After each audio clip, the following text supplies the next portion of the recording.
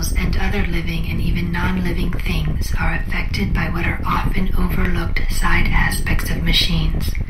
Aspects including sound, movement, vibration, heat, electromagnetic radiation, and others that are byproducts or subconsciously included elements outside the consciously designed functions of the machines. Current companion robots are being designed to mimic whole animal or humanoid forms and to survey